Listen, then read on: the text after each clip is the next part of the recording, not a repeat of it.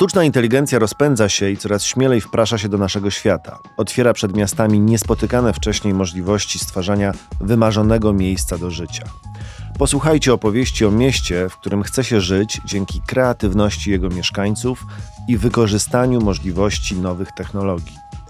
Przewodnikiem po krainie kreatywności będzie dr Konrad Maj z Uniwersytetu SWPS, który wie, jak oswoić robota, obudzić w sobie pomysłowość i nieszablonowe myślenie.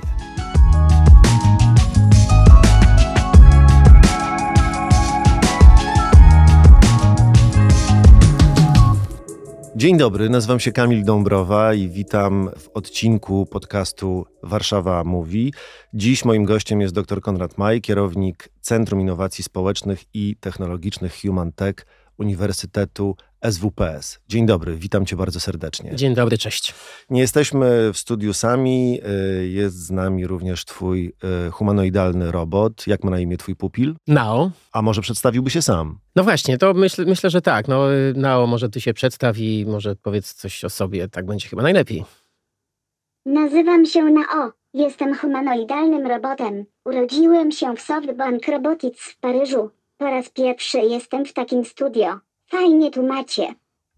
No to jak na Francuza ma całkiem dobry polski akcent, prawda? Tak, i chyba całkiem niezły gust, tak mi się wydaje. Nie? To Że- prawda. No i też jest chyba grzeczny i miły. Tak, no to się okaże y, na końcu naszego No. no, odcinka. Tak, tak, tak. Czyli nie chwalmy dnia przed zachodem słońca. Tak, no na razie jest cierpliwy, siedzi sobie tutaj z nami spokojnie, więc liczę na to, że wytrzyma. E, Będzie miło. Konradzie, opowiedz na początku, y, czym zajmujesz się w Centrum Innowacji Społecznych i Technologicznych e, Human Tech e, Uniwersytetu SWPS. No oczywiście innowacjami społecznymi i technologicznymi to byłaby najprostsza odpowiedź, ale dla mnie niezwykle ważna jest ta nazwa e, Human Tech i ona chyba dość mocno definiuje to, czym my się zajmujemy, ponieważ w tym członie, czy w tej nazwie pierwszy człon to jest human, Mhm. więc zajmujemy się przede wszystkim człowiekiem, ale właśnie w styczności z technologią. Nie? Mhm. Więc e, to, co my robimy, no to zajmujemy się i prowadzeniem badań w tym zakresie. Sprawdzamy, e, badamy, jak człowiek wchodzi w interakcję z technologią, ale również e, zajmujemy się popularyzacją nauki, czyli organizujemy spotkania. Spotkania są zawsze otwarte po to, aby ludzi integrować, tych, którzy tym tematem się interesują. E, em, Próbujemy ludziom otworzyć oczy, ale też i często sami otwieramy oczy. E, No i też prowadzimy dydaktykę. Mhm. Mam dla ciebie taki krótki test z ekonomii. E, Nie wiem, czy śledzisz rynki finansowe e, i czy wiesz, jaka jest najsilniejsza waluta XXI wieku. No, ja bym powiedział, że to jest jakaś forma kreatywności, czy, czy, czy, czy może sceptycyzmu. Uważam, że to jest coś, co nam jest bardzo potrzebne i na pewno będzie jeszcze bardziej nam potrzebne. Mhm. A jak sądzisz, dlaczego tak się stało, że kreatywność stała się tą taką najsilniejszą walutą XXI wieku? E, Ja tak patrzę na to w ten sposób, że to, co jest y, nie do końca kreatywne, chociaż no bywa też, że nas zaskakuje, czyli sztuczna inteligencja, ale w ogóle szeroko rozumiana technologia, y, to są dla nas jakieś, to jest dla nas jakiś hardware, tudzież też software, który nam może bardzo y, ułatwić życie, pomóc rozwiązać rozmaite problemy. Natomiast my jako ludzie cechujemy się naprawdę unikalną kreatywnością. Nie powinniśmy jej y, zabijać, powinniśmy ją rozwijać właśnie, powinniśmy się starać z niej korzystać jak najwięcej i y, powinniśmy się jej tak samo oczywiście uczyć. I myślę, że to jest wielką wartością. Jak popatrzymy sobie na to, ile dziennie tak naprawdę powstaje rozmaitych startupów na całym świecie. Y, Ja sam ucząc studentów widzę, jaki jest niesamowity w tym potencjał. No to jestem naprawdę mocno zbudowany, ale z kolei też dostrzegam takie właśnie duszenie tej kre- kreatywności. Mhm. I myślę, że y, to jest coś, co, co jest, stanowi taką istotę człowieczeństwa. A jest gdzie to duszenie kreatywności się zaczyna? No, myślę, że edukacja przede wszystkim, Mhm. nie? No, jak popatrzymy sobie, jak wyglądają nasze szkoły, nie, nie chcę generalizować, mhm. ale jednak to no, trzeba w jakiś sposób u, u, użyć takiego uogólnienia mm, i byśmy sobie tak y, zajrzeli do e, na przykład starych zdjęć sprzed 100 lat, jak wyglądały szkoły, no to byśmy nie dostrzegli wielkich e, zmian. Mhm. E, może tylko tyle, że nie wiem, wtedy te meble były trochę inaczej, inaczej może wyglądały, czy, czy, mhm. czy może nie wiem, były też przecież czasy, kiedy były oddzielone E, płcie, e, czyli mhm. dziewczynki e, i chłopczyki osobno, ale tak naprawdę to, to wygląda to jednak bardzo, bardzo podobnie. Nie?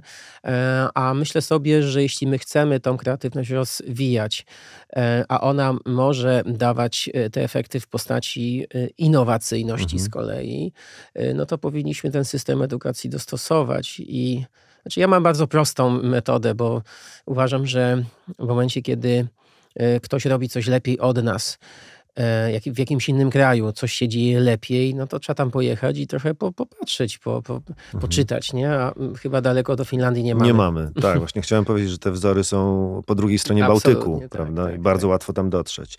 I przynajmniej pewne rzeczy próbować przeszczepić na, na nasz grunt.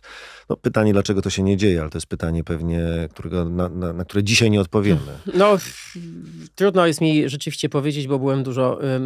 Byłem kilka razy, może nie dużo, ale byłem kilka razy y, i byłem też na takim wyjeździe, gdzie obserwowaliśmy w Finlandii, mhm. E, jak wygląda tamtejszy system edukacji i to zarówno od tego najniższego poziomu, zwiedzaliśmy i podstawówki, y, i gimnazja y, tamtejsze, oczywiście i uniwersytety e, i mieliśmy wywiady z ludźmi, którzy te placówki prowadzą. Wchodziliśmy na zajęcia, więc te, tak żeśmy troszeczkę sobie szpiegowali i to była mhm. taka ekipa ludzi, którzy w, znacznym stopniu jakby zostali zrekrutowani z, jakiegoś, z jakichś niepaństwowych y, y, szkół, uczelni, e, którzy chcieli pewne rzeczy wdrożyć. Natomiast no, nie mogę sobie teraz przypomnieć, ale chyba nie było może nawet nikogo, e, kto by reprezentował. Ministerstwo Edukacji, na przykład, zgadnę. Tak, mhm. Ministerstwo Edukacji, czy w ogóle jakieś państwowe instytucje. E, więc no, to jest takie przekonanie, że nie wiem, może my wiemy lepiej. Mhm. Znaczy, trzeba zaznaczyć, że my jako Polacy E, mamy olbrzymi potencjał, bo na przykład jeśli chodzi o tak zwaną inteligencję e, płynną, taką wrodzoną, e, mhm. jeśli się porównuje testami inteligencji mhm. nasz, nasz naród tak. i nasz potencjał do innych mhm. krajów, to my jesteśmy na czwartym miejscu mhm. w Europie. Czyli całkiem nieźle. Całkiem nieźle. Mhm. I Finowie są dalej. Już nie mhm. pamiętam do końca, na którym miejscu, też są w pierwszej dziesiątce, ale dalej. Natomiast no niestety jest tak, że nam się w jakimś sensie podcina skrzydła, mhm. E, w jakimś sensie nam się utrudnia mhm. taki rozwój, rozwój. własny. E, I to właśnie... A w innych krajach jest odwrotnie. Być tak, może ten tak, start tak, jest z tak, niższego tak, poziomu, ale, tak, łatwiej... ale edukacja, która jest mhm. nastawiona na to, żeby ten potencjał, nawet jeśli on jest nieco niższy, rozwijać, no po prostu pozwala no, wyciągnąć maksimum. Mhm. A powiedz, y, czy bo powiedziałeś, że my jako ludzie mamy tę niesamowitą y, zdolność do kreatywności, znaczy jesteśmy najbardziej kreatywnym zapewne gatunkiem E, jaki żyje na Ziemi. Czy każdy z nas, czy każdy człowiek jest lub może być kreatywny, czy to jest e, zarezerwowane dla, tylko dla niektórych i inni mm, no, wolą jednak e, kreatywnością i czymś takim jak biznes kreatywny, czy przemysł kreatywny się nie zajmować? Jak to jest z punktu widzenia psychologa społecznego? Z punktu widzenia psychologa społecznego odpowiedź jest taka, że po pierwsze to jest tak, że każdy, znaczy, że są różnice indywidualne i nie możemy tego negować. Mhm. Nie? I myślę sobie, że y, każdy to dostrzega, że są tacy, y, którzy potrafią szybko coś y, opracować, wymyśleć, mają jakieś bardzo zaskakujące pomysły, a, a niektórzy jednak tkwią w pewnych schematach. Ale no właśnie tak jest z kreatywnością, że my po jakimś czasie, jak na przykład dostaniemy jakieś zadanie, my na początku gdzieś tkwimy w pewnych takich torach, nie potrafimy e, poza nie wyjść, ale zaczynamy się rozkręcać. I nawet takie osoby, które e, można powiedzieć same tak się definiują, że nie są specjalnie mhm. kreatywne, mhm. tak są spostrzegane, mhm. no to okazuje się, że potrafią generować bardzo ciekawe, kreatywne rozwiązania. I myślę sobie, że musimy o tym pamiętać, że to jest tak jakby jak przygotowanie pewnej rozgrzewki, jak na przykład mhm. w sposób, jeśli ćwiczymy gdzieś na siłowni, mhm. wiemy, że musimy przygotować nasze mięśnie, musimy rozgrzać nasze ciało, mhm. to również tak jest z naszym mózgiem. Mhm. Więc musimy na początku sobie postawić jakieś takie zadania kreatywne. W psychologii jest bardzo dużo rozmaitych ćwiczeń, które się z tym wiążą. No wystarczy na przykład narysować sobie gdzieś na tablicy krzyżyk, kółko mhm. i na przykład dać tak komuś takie zadanie, że weź tych dwóch elementów coś stwórz i to mhm. podpisz na przykład, mhm. nie? Mhm. Albo na przykład e, zastosowanie nietypowe określonych rzeczy, które nie są nam potrzebne, tak? Tutaj stoi woda z cytryną, no wyobraźmy sobie, że dostajemy takie zadanie pod tytułem co z tym zrobić z użytą cytryną, czy jesteśmy w stanie znaleźć jakieś, jakieś zastosowanie tego produktu, który wyrzucamy. No na początku jest nam ciężko, tak? Ale po jakimś, jakiejś chwili zaczynamy kombinować. I myślimy, co można zrobić ze skórki od na zużytej pomarańczy. Absolutnie tak. Y. Co możemy zrobić z pewnych elementów tego czegoś, nie? Więc to mhm. jest taki pewien proces. Natomiast my w trakcie naszego życia zawodowego nie mamy zbyt wielu okazji na to. Nie mamy zbyt wielu sposobności. Oczywiście niektórzy e, stosują, nawet są takie w niektórych korporacjach takie specjalne pokoiki, mhm. gdzie... Do kreatywności. Do kreatywności, tak. Y, I ale, tam się robi na przykład burzę mózgu. Tak się robi burzę mózgów, ale... No, Badania jednak pokazują, że to nie do końca jest efektywne, bo ludzie często, kiedy wchodzą na tak zwaną burzę mózgu, czy burzę mózgów, jak niektórzy mhm. mówią, i e, zaczynamy zderzać jakieś takie swoje myśli, swoje, swoje, swoje pomysły, ta efektywność jest jednak niższa, bo jeśli się weźmie pod uwagę to, co wypracowaliśmy, porówna się z taką sytuacją, że na przykład osoby sobie indywidualnie pracują, mhm. tak, w jakichś takich swoich e, pokoikach i następnie wrzucają wszystko na stół, to okazuje się, że te prace indywidualne, ilość tych pomysłów jest większa. Więc y, to nie do końca tak jest, że burza mózgów jest efektywna, mhm. ale żeby była jasność, ja nie, nie neguję e, zupełnie tego procesu, tylko najlepszy, najle, najbardziej efektywny on jest wtedy, kiedy na początku ludzie sobie właśnie taką indywidualną burzę w swoim mózgu odpalą, mhm. Y, wygenerują jakieś pomysły, a potem grupa jeszcze do tego dodaje, robi jakieś mhm. zestawienia, no bo jeden pomysł zapala drugi pomysł, nie? Ale sama burza mózgów na zasadzie, że wchodzimy i tam coś myślimy, mhm. to jest ekscytująca taka forma pracy grupowej, grupowej, ale ona często jest nieefektywna. Mhm.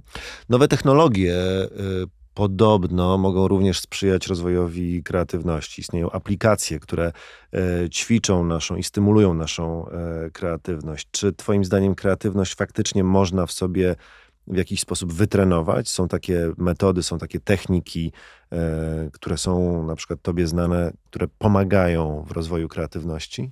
Muszę powiedzieć, że jak wspomniałeś właśnie o tej o technologii, mhm to od razu przyszedł mi do głowy chat GPT. Mhm. To jest taki technologiczny celebryta i myślę sobie, że większość ludzi e, już o nim e, słyszała, ale ja myślę właśnie patrząc na to, e, jak edukacja do tego narzędzia podchodzi, to sporo osób mówi, to jest wspaniałe narzędzie pobudzania kreatywności.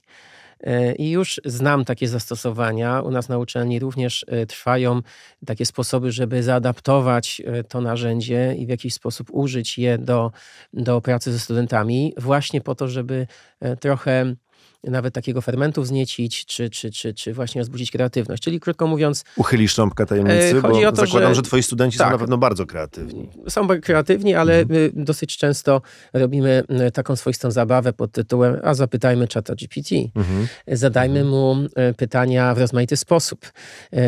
Czasami przecież można e, to samo e, zapytać inaczej i na przykład możemy powiedzieć, e, jak chat GPT jak ten chatbot e, to widzi z punktu widzenia na przykład, nie wiem, małej dziewczynki. Nie? Mm -hmm.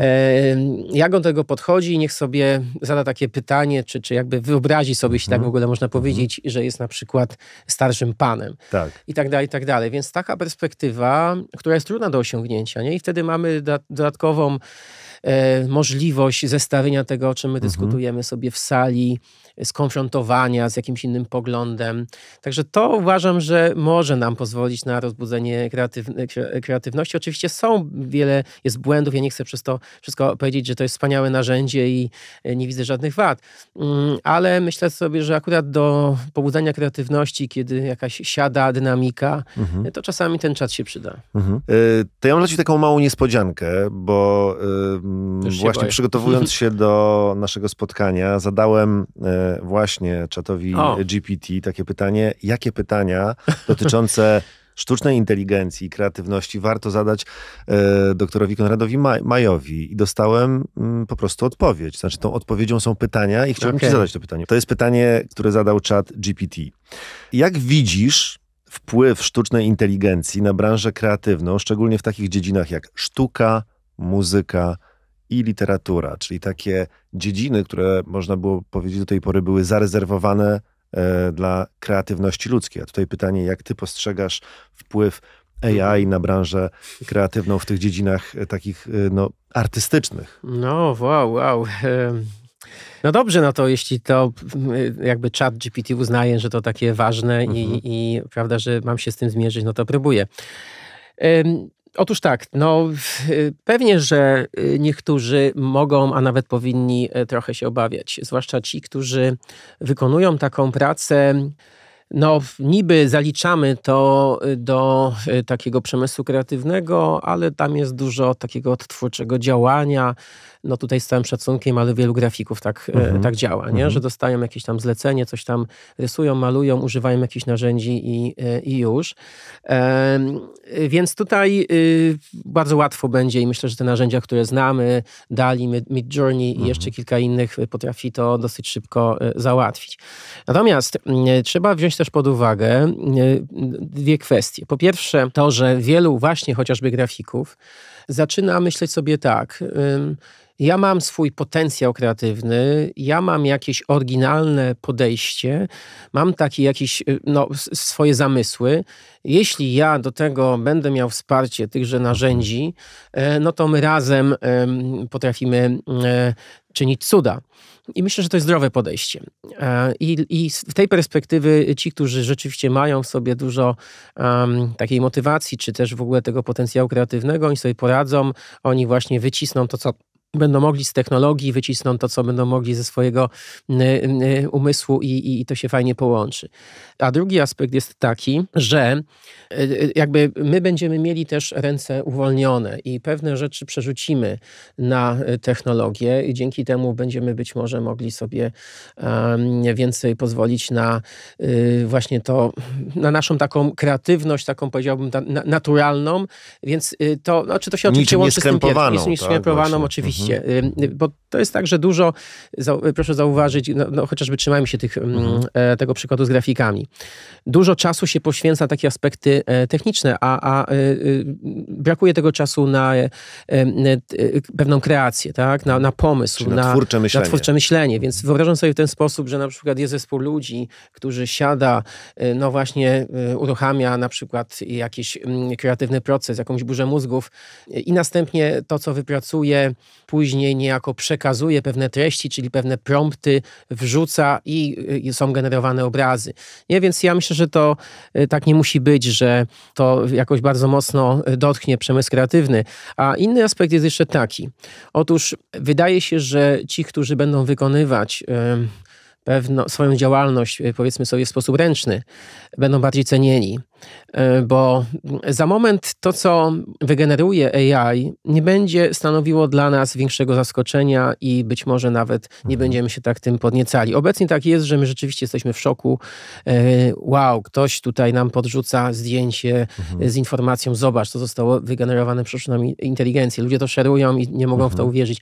Ale kiedyś to będzie tak, że to będzie naturalne, to będzie normalne, a w związku z tym to, co właśnie będzie, no takie można powiedzieć nienormalne, mhm. będzie bardzo oryginalne, będzie w dużej cenie. Jeśli na przykład e, ktoś dowie się, że właśnie e, to zostało namalowane ręką człowieka. No zresztą nie, niedaleko szukając przykładu, no wiem, że w tej chwili e, no jeszcze czekamy na premierę, ale będzie taki film chłopi zrobiony właśnie, taki animowany, tak? Mhm. Ale wszystko, co tam jest wygenerowane, to no nie jest jest wygenerowana właśnie przez AI, tylko to są malowidła, które są ze sobą Mhm. fajnie zmonto- zmontowane i mamy serię takich obrazów pomontowanych, Mhm. ale namalowanych ręką ludzką.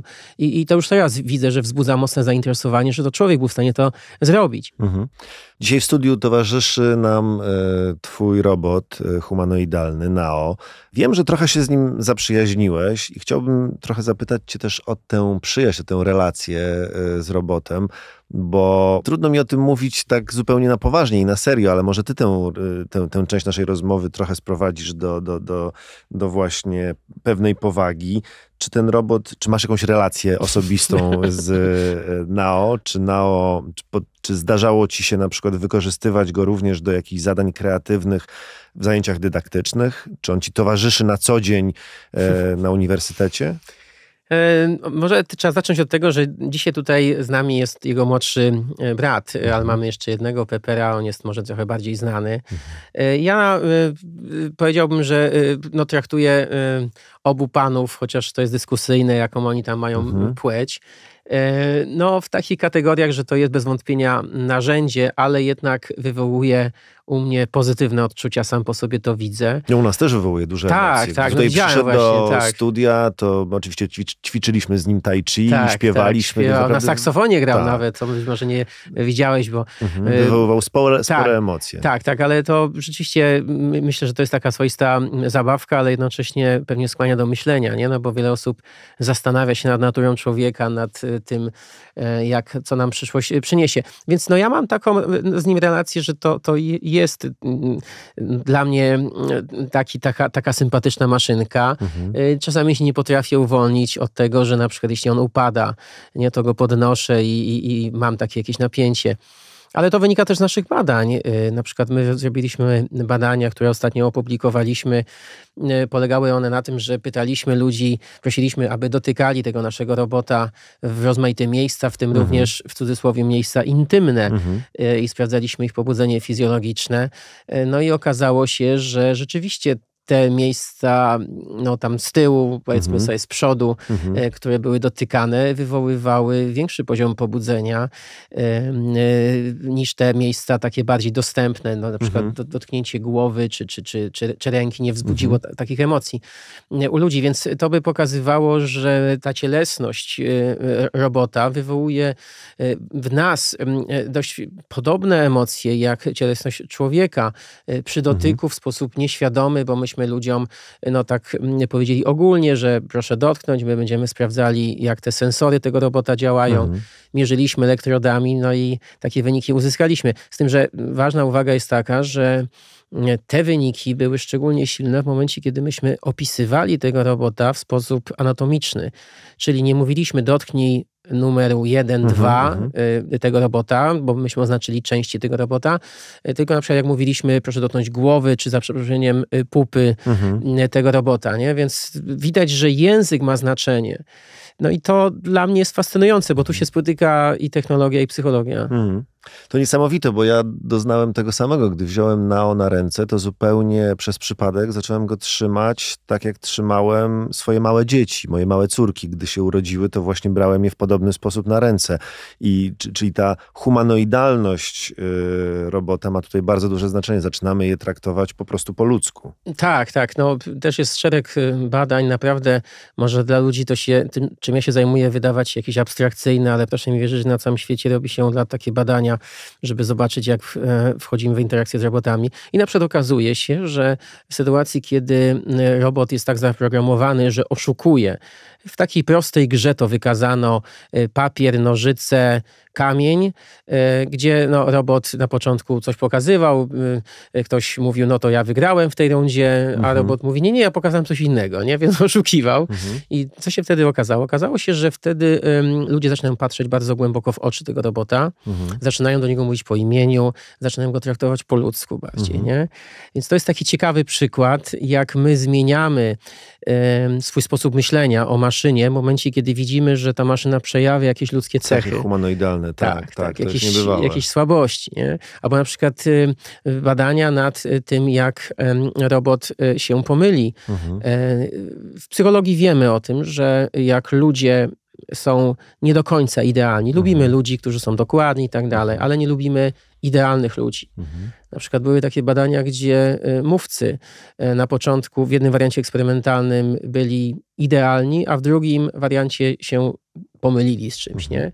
I okazywało się, że ten, który pope- popełnił jakiś błąd, był lepiej y, spostrzegany. Tak samo jest z A roboty robotami. będą się mylić? Będą... Oj, no, mylą Mhm, się. No, mylą. dzisiaj też widzieliśmy, ile razy pytaliśmy go o coś, No. on nao, tak. A on się zawieszał. Albo się zawieszał, albo upadał, albo Mhm. inne dziwne rzeczy e, mówił. No i to jest oczywiście poważny problem. Pomyłki algorytmów, pomyłki AI. Chociaż no, jakby powstał już pewien termin, który do tego się odnosi, nazywa się awersja algorytmiczna. Mówi on o tym, że my algorytmom, robotom również wybaczamy znacznie mniej. To znaczy, e, jak na przykład się algorytm pomyli, a są takie pomyłki, Mhm. co jakiś czas ktoś o tym przypomina, na przykład, że y, algorytm googlowy y, pomylił e, osobę ciemnoskórą y, z szympansem i tak Mhm. dalej. Takie y, sytuacje się zdarzają, ale my Mhm. wtedy jest Mhm. to dla nas takim dowodem na to, że jednak mamy przewagę. Na razie. Na razie, Przynajmniej na tak, razie. tak. Natomiast cyborgizacja. Otóż y, wyobrażam sobie, że będziemy, i chyba egzoszkielety są tego typu Mhm. przykładem, to są takie roboty, które niejako zakładamy na siebie, dzięki temu mamy więcej mocy, mo- możemy dźwigać pewne rzeczy.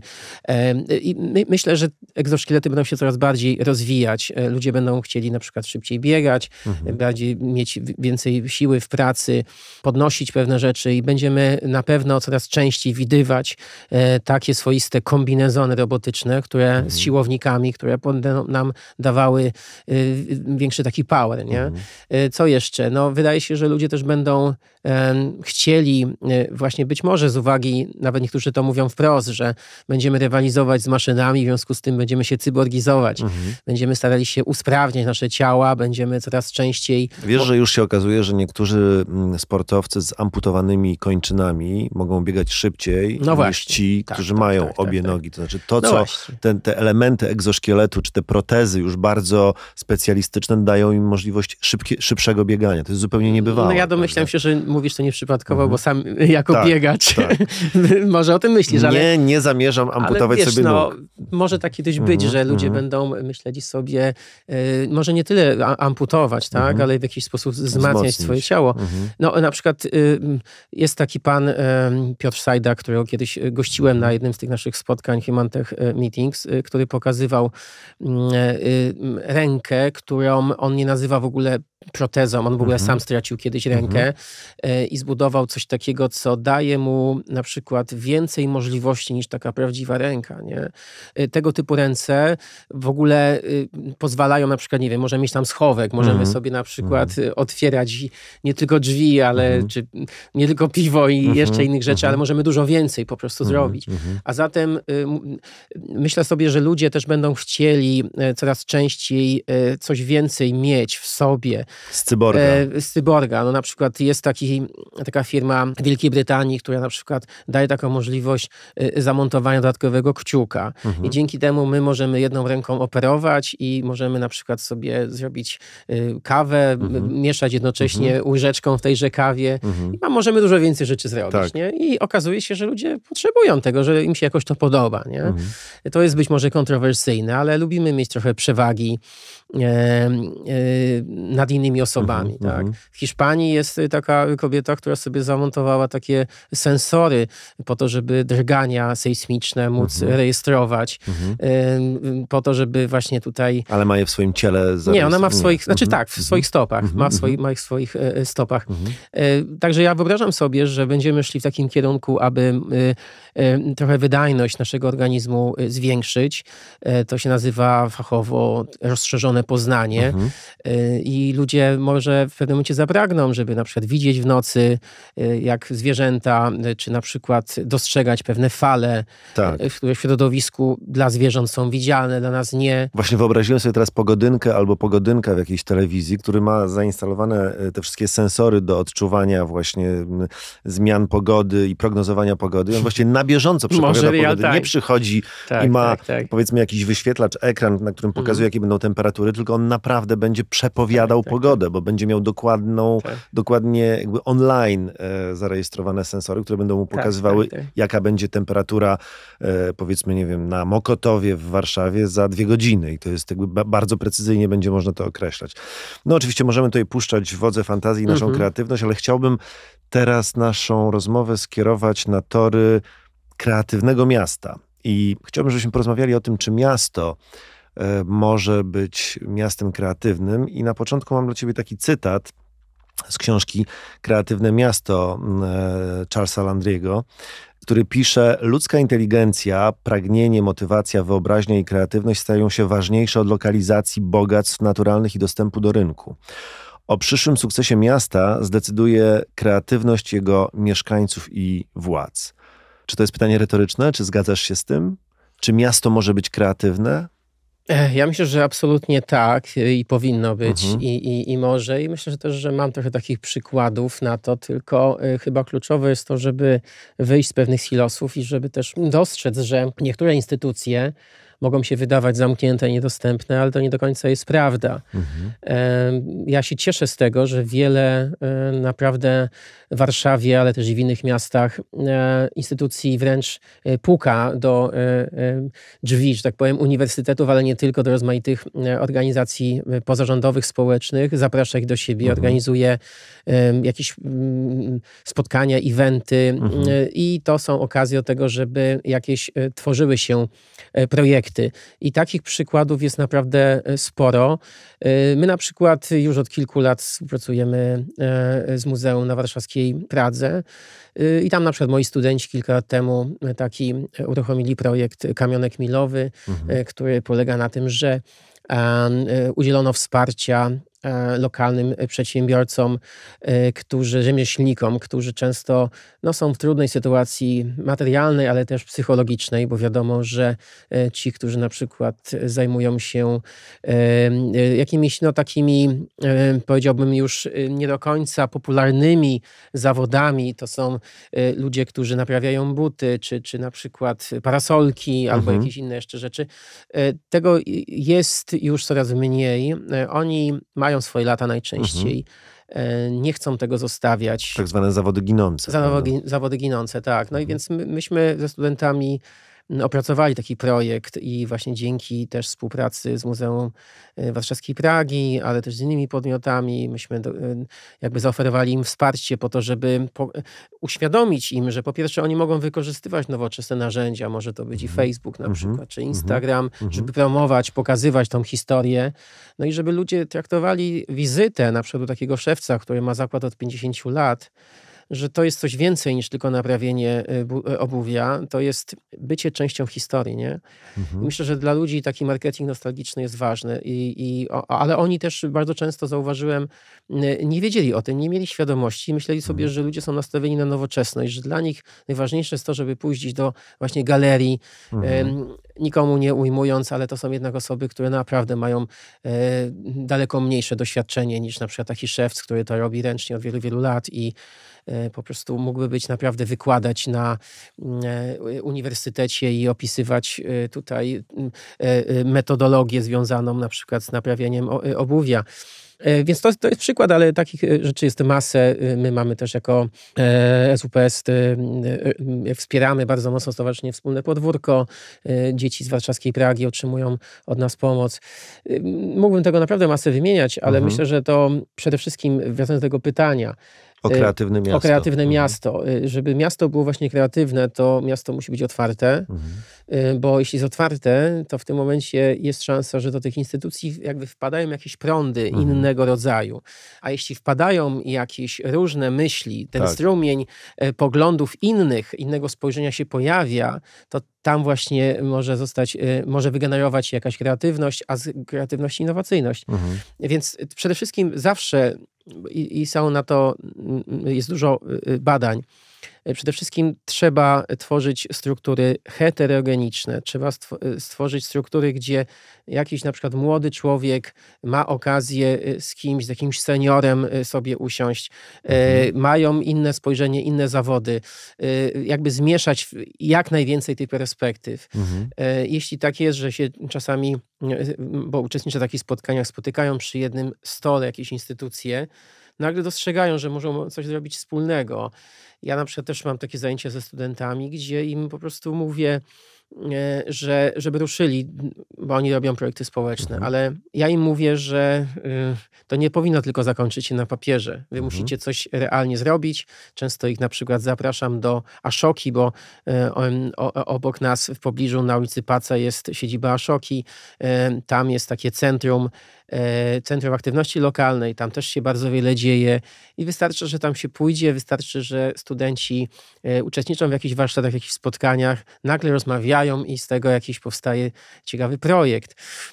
Więc przede wszystkim powiedziałbym, że receptą na to jest otwarcie instytucji, umożliwienie ludziom kreatywnego działania i spotykania się z innymi osobami. Cieszę się, że o tym mówisz, bo CALI, czyli Centrum Centrów Aktywności Lokalnej, czy, czy CAMów, Centrów Aktywności Międzypokoleniowej jest w Warszawie więcej, ale mamy również projekty, które wprost e, wspierają e, kreatywność, na przykład Warsaw Booster. To jest taki program, który promuje rozwiązania, które wykorzystują nowe technologie, nowoczesne technologie i poprawiają jakość życia mieszkańców, a także i tych starszych, i tych młodszych. Mamy też Centrum Kreatywności Targowa, która daje przestrzeń do funkcjonowania E, startupów czy promowania innowacyjności i przedsiębiorczości. Na przykład e, takim wdrożeniem, którym, e, o którym warto opowiedzieć, którym Warszawa się chwali, jest system e-kontroli pojazdów. I to narzędzie do e-kontroli pojazdów zostało właśnie zakupione przez ZDM i jest wykorzystywane. Nie wiem, czy widzisz czasami taki samochód, który jeździ właśnie z radarem i to jest właśnie przykład tej kreatywności. Mhm. Ludzie, którzy są w centrum miasta, ale nie tylko w centrum, widzą, że pojazdy takie komunikacji miejskiej, jak tramwaje czy autobusy, widzą czas, e, w którym się pojawią na przystanku. To również bardzo ułatwia życie. Mm-hmm, czy myślisz, mm-hmm. że miasto powinno iść w tym kierunku i tę kreatywność wzmagać i rozwijać, i że to jest faktycznie taki bardzo istotny kierunek rozwoju współczesnych miast? I dzisiaj oczywiście myślę, Warszawy? Myślę, że tak. Ja ym, pamiętam moje doświadczenia, jak byłem e, w Pittsburghu. I nie zapomnę, jak rozmawiałem tam, ja miałem okazję tam wizytować Carnegie Mellon University, mhm. taki Instytut for Social Innovation. Tam był taki profesor Tim Zak, który mnie przyjął, e, bo okazało się, że ma polskie korzenie, bo mhm. to nie jest łatwe, żeby tam mhm. gdzieś e, do, na taki uniwersytet pojawić się na takim, taką wizytę. Oni mają sporo rozmaitych gości. W każdym razie przyjął mnie bardzo ciepło i opowiadał o rozmaitych projektach. I pamiętam, że on mnie zapytał, bo też rozmawialiśmy na temat kreatywnego miasta, jak pobudzić tą kreatywność i y, pyta mnie o Warszawę, ile jest mostów. No mhm. rzeczywiście przyznam że miałem kłopot z odpowiedzią, ile tych mostów jest, ale tak powiedziałam, że chyba osiem tych mostów jest, mhm. nie wiem mhm. czy dobrze.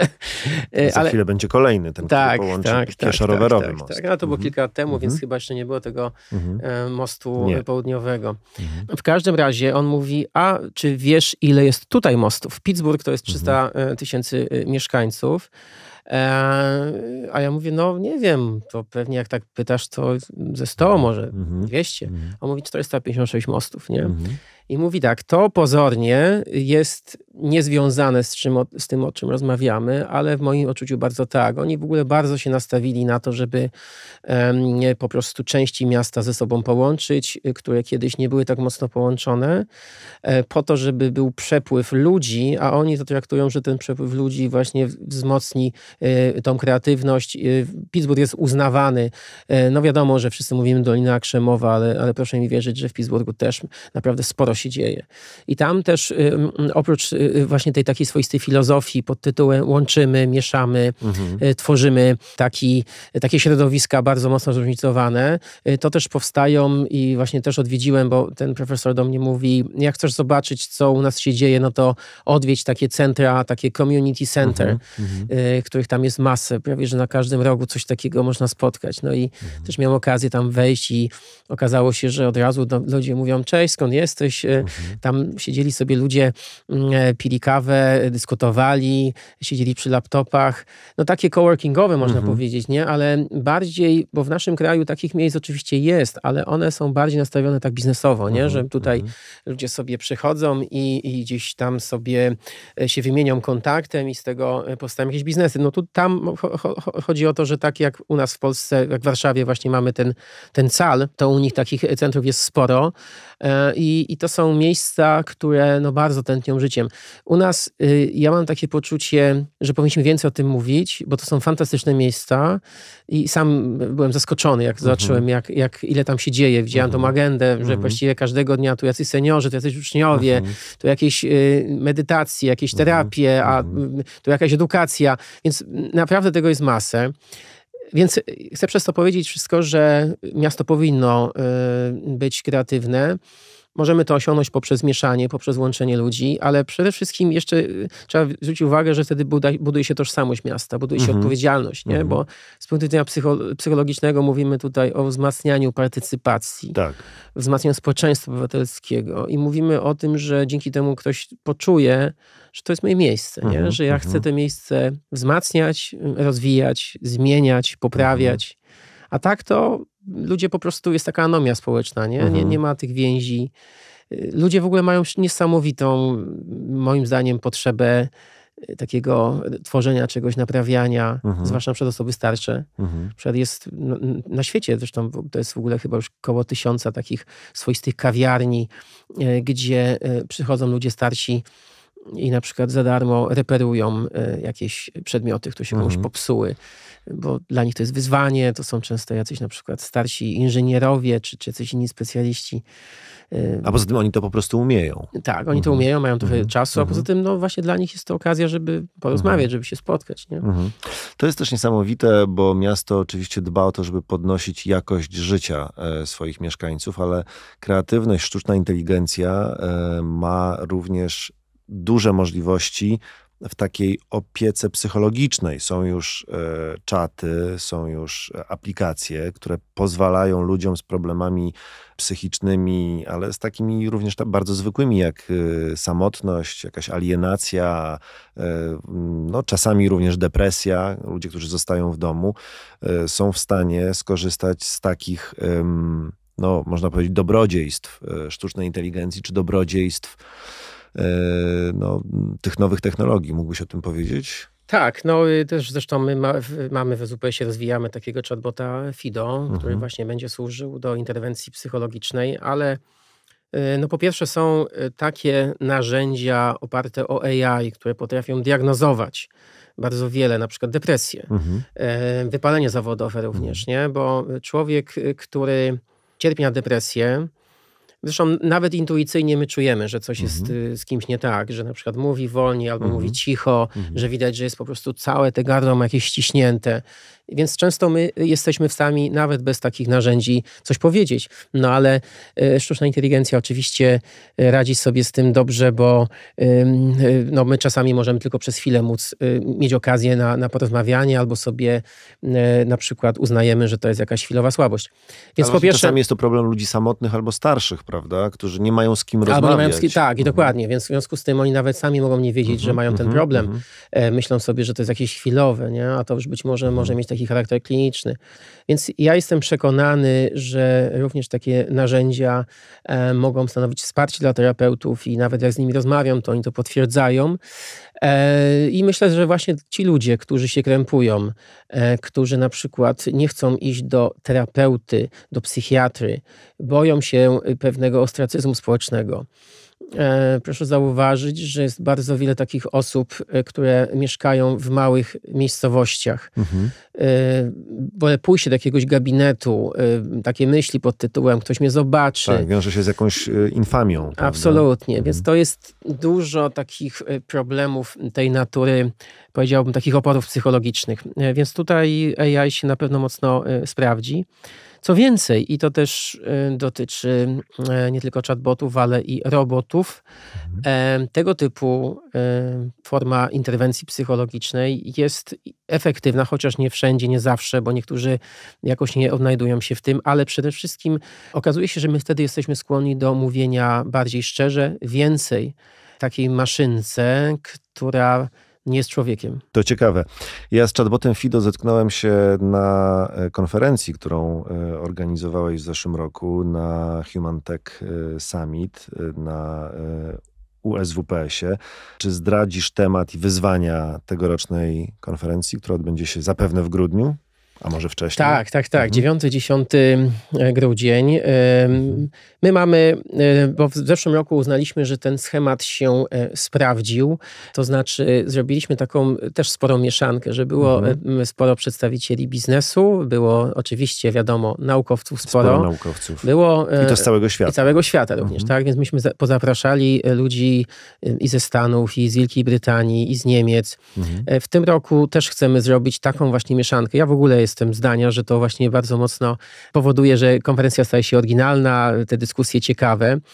Y, no ale oczywiście y, mamy takie poczucie, że y, niektóre tematy powinny zostać trochę mocniej wyeksponowane i powinno być ich więcej. Na przykład dotyczy to kwestii zmian klimatycznych, mhm. ekologii.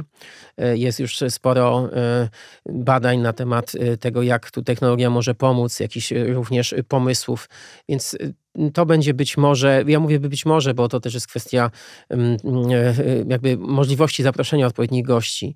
My będziemy się o to starali, więc mamy taki fokus, że chcemy e, tym się trochę bardziej zająć. No i też kwestia zdrowia oraz sportu, mhm. E, bo nam trochę tego zabrakło, chociaż nasza konferencja była, mam poczucie, bardzo, no prawie kompleksowa, ale myślę, że w tym roku by nam się przydało. No i stąd zachęcam wszystkich mhm. tych, którzy nas tu może słuchają, jeśli robicie ciekawe rzeczy, może jakieś badania, ale też macie jakieś startupy w tym kierunku, e, to chętnie e, pokażemy.